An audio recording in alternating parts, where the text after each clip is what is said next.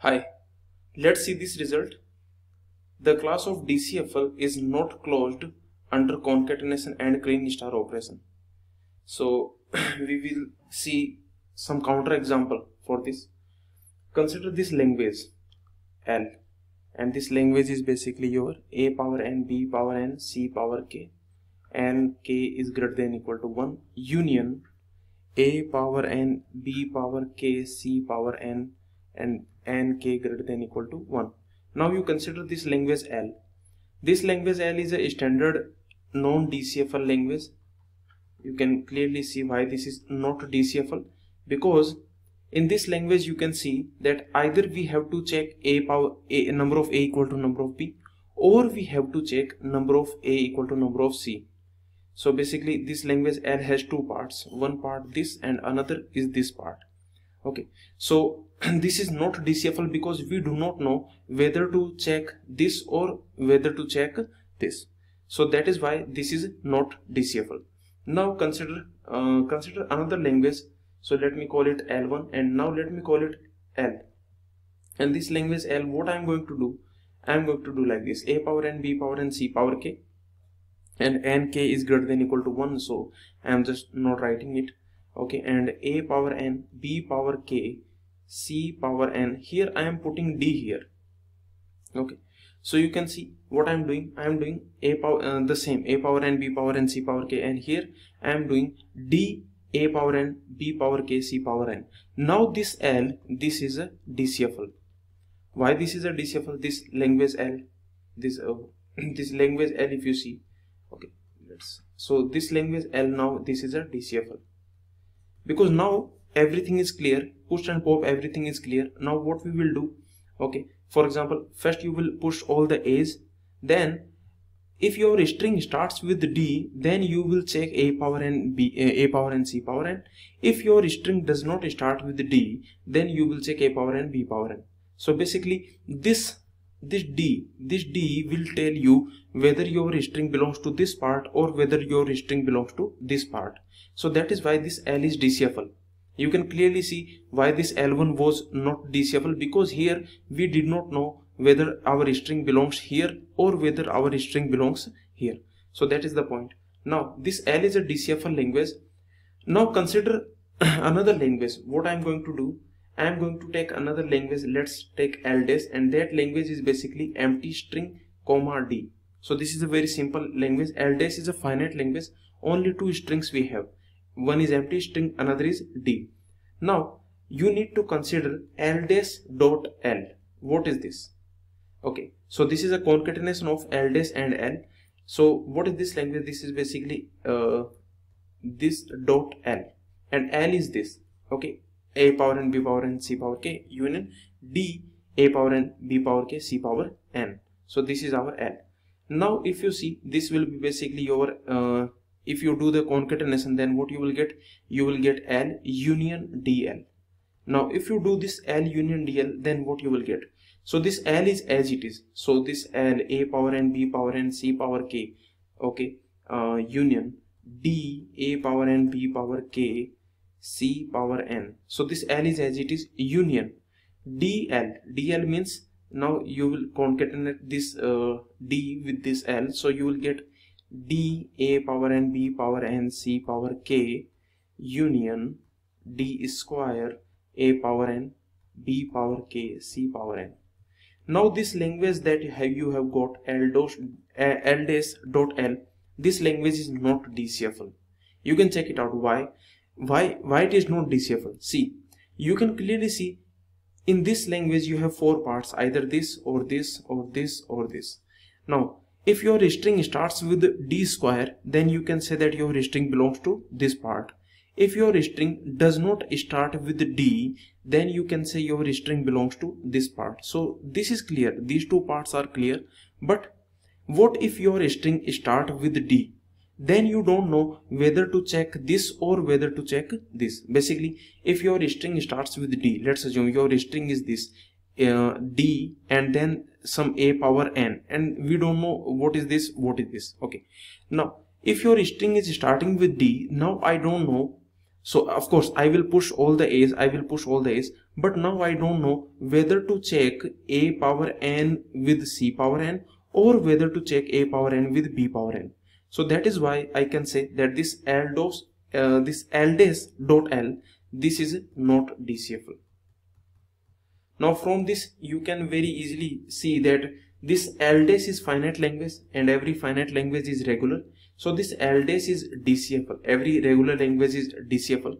So this LDAS is DCFL and this L is also DCFL but their concatenation is not DCFL. So the first result that we got is that DCFL concatenated with DCFL that may not be DCFL. So this is the first result. DCFL concatenation with DCFL may not be DCFL. I can say that may not be may not be DCFL. Okay. So this is the first result that I got. Also, you can you can clearly see that this LDAS this is a regular language. So I can also say this result also I can say that if you have a regular language dot DCFL language means regular language concatenated with DCFL language that also may not be DCFL. So basically I can say that DCFL languages are not closed under concatenation with regular languages so may not be DCFL. Okay next you can see if you if you consider this language LDAS then this LDAS is a finite language. So I can say one more thing that DCFL languages are not closed under concatenation with finite language. So I can say this finite language dot DCFL so if if I concatenate DCFL with a finite language then also I can say may not be DCFL so these three results we got from this simple example from this very simple counter example these are the three three results that we got. DCFLs are not closed under uh, concatenation. DCFL are not closed under concatenation with regular language. DCFL are not closed under concatenation with finite language. So these three important results that we got. Now after this let's see Kleene star. So before we see this uh, Kleene star again we will take the same language L. And our language is same a power n b power n c power k union a power n b power k c power n. Okay so okay d. Now this is our language L. We have already seen that this is a DCFL language. Now what you consider? After this uh, language L we have already seen that this language this simple language this language is not DCFL this also we have seen. Okay so this is not DCFL now consider this language d star dot l. Is this DCFL or not? Think about it. You can pause the video and you can you can try to think about it. What is this? D star dot l. You will see that this is also not DCFL same reason why? Because what is this d star? This d star will have empty string it will have d it will have d square and so on dot l. Now again the same thing will happen the same thing here. Empty string uh, comma uh, d dot l. So here also we have empty string comma d dot l. So again the same thing will happen. Again uh, if your string starts with d then we don't know whether uh, which part uh, we should check. So again the same thing. You can just work it out. This is a very simple uh, variation. This is a very simple variation of this. So we can say that this is also not DCFL now consider a very simple uh, one one more variation. Consider one more variation. In this what I am going to do? L union D. So basically in this language L I am going to put this string D and then I am going to take the uh, Kleene star you can see in this language L if I put just one more string D then that the, uh, that does not change anything. So basically this internal thing this internal thing this is DCFL means this L is DCFL and we union it we do the union of L with this uh, this finite language. Only one string is there. So this internal this language is also DCFL now this DCFL whole star what is this? So this this is DCFL and this is the Kleene star. Now this result what is this? Whether this is DCFL or not. So you can clearly see if you got this example okay if you understood this if you understood this then you can very easily see that this is also not DCFL why this is not DCFL let's talk about it. So what I uh, our L L is clear. Let me just write it again. So union a power n b power k c power n. Now what I am doing I am doing L L union L union D and whole star. So in this language L I am putting this one more string D and then I am taking this Kleene star. So what I will get? Okay this Kleene star means you can repeat any number of times. Again this type of scenario will happen. Basically you will get L you will get this D.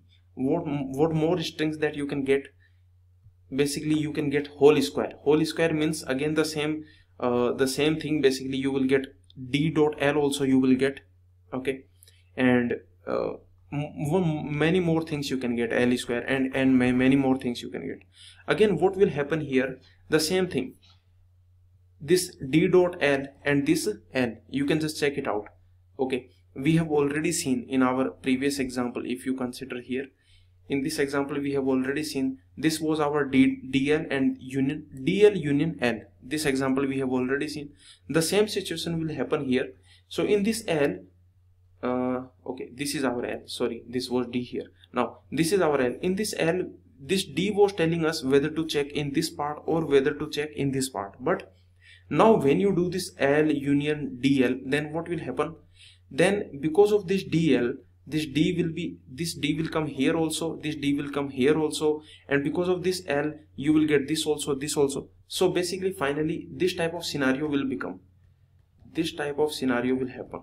A power n b power n d a power n b power k c power n. So this is basically your l union d dot l. D dot l means d dot a power n b power n c power k union d square a power n b power k c power n. So again you can see if your string starts with d now i don't know whether to check this or whether to check this. If my string start with d then i don't know whether to match number of a with number of c or whether to match number of a with number of b. So this is a very simple example. In this we have seen that this is a dcfl language this l union d.